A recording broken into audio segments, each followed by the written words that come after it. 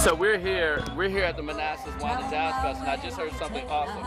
So say it again. Okay, we had a wine tasting event at our house.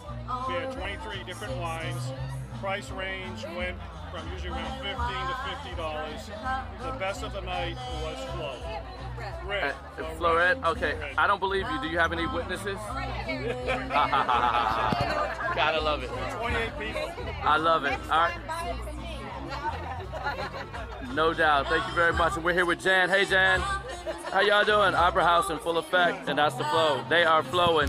We're flowing. Come on down here. Manassas. Gotta be here each year. Peace.